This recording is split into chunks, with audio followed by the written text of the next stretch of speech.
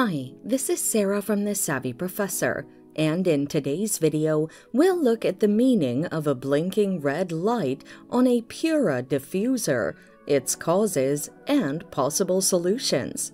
Let's get started.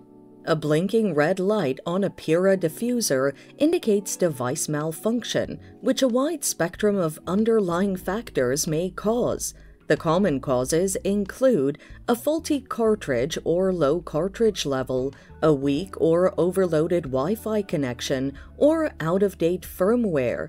Now, let's look at the best solutions to the issue. Check the cartridges. Eject the cartridge from the diffuser and check for any visible fault.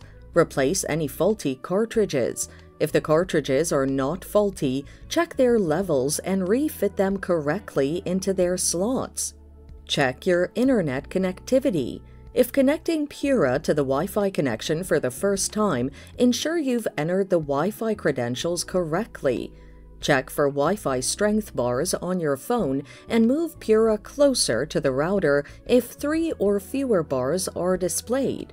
Connect Pura to a Wi-Fi band it supports. Most Pura diffusers support dual bands or 2.4 GHz frequency channels. Update the Pura firmware.